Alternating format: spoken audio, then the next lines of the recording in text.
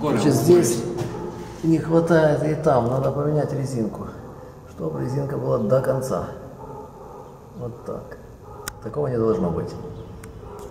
Не може вода буде вакуум. Не. также. І так же на этой стороне.